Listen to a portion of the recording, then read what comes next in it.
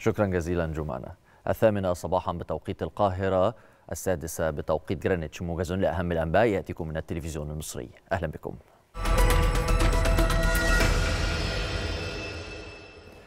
عاد الرئيس عبد الفتاح السيسي إلى أرض الوطن بعد زيارة إلى دولة الإمارات العربية المتحدة.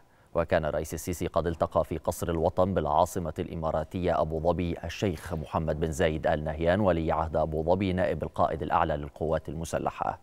وأكد الرئيس السيسي أن زيارته للإمارات تأتي استمرارا لمسيرة العلاقات الوثيقة والمتميزة التي تربط البلدين وما يجمعهما من مصير ومستقبل واحد ودعما لأواصر التعاون الثنائي. مجددا تضامن مصر حكومة وشعبا مع دولة الإمارات الشقيقة جراء الحادث الإرهابي الأخير الذي أسفر عن وفاة وإصابة عدد من المدنيين. من جانبه أعرب الشيخ محمد بن زايد عن اعتزاز الحكومة والشعب الإماراتي بما يجمعهما بمصر وشعبها من أواصر تاريخية وطيدة وعلاقات وثيقة في مختلف المجالات. مشيرا إلى التقدير البالغ للدور الاستراتيجي والمحوري الذي تقوم به مصر تحت قيادة الرئيس السيسي في حماية الأمن القومي العربي والدفاع عن قضايا الأمة العربية. أعلنت وزارة الصحة والسكان عن خروج 1870 متعافيا من فيروس كورونا من المستشفيات بعد تلقيهم الرعاية الطبية اللازمة وتمام شفائهم ليرتفع إجمالي المتعافين من الفيروس إلى ثلاثة أو 349427 حالة. وأعلنت كذلك الصحة تسجيل 1910 حالات إيجابية جديدة ووفاة 29 حالة.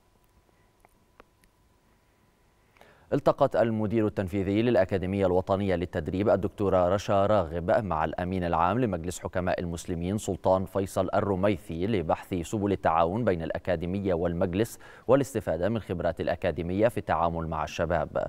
وقال سلطان فيصل الرميثي إن مجلس حكماء المسلمين يتشرف بالتعاون مع الأكاديمية الوطنية للتدريب لاهتمامها بتدريب الشباب وتمكينهم بفرص حقيقية واقعية مشيرا إلى أن مصر تشهد نهضة فكرية.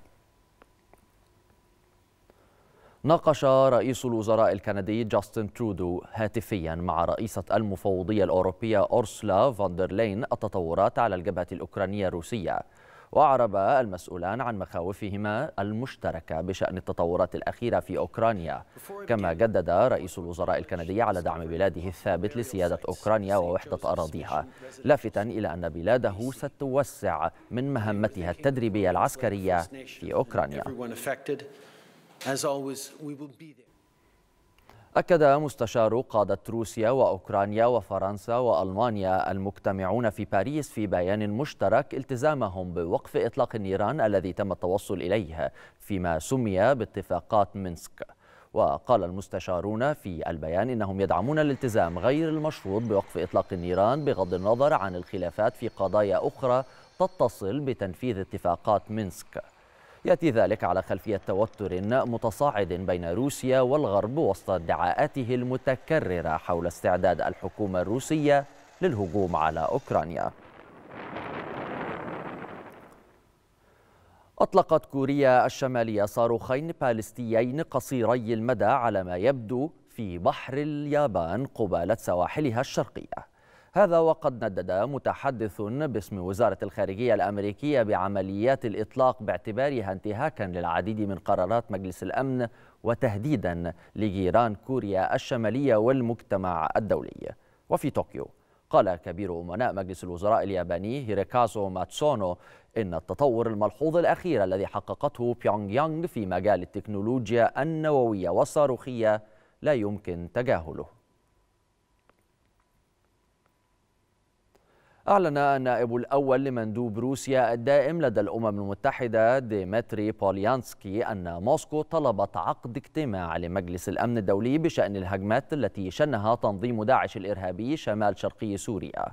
وأكد ديمتري بوليانسكي أن موسكو طلبت عقد اجتماع منفصل. من المتوقع أن يتم خلاله الاستماع إلى تقرير نائب الأمين العام للأمم المتحدة ورئيس إدارة مكافحة الإرهاب بالمنظمة فلاديمير فورنكوف وممثلين آخرين عن الأمانة العامة للأمم المتحدة حول آخر التطورات في شمال شرقي سوريا.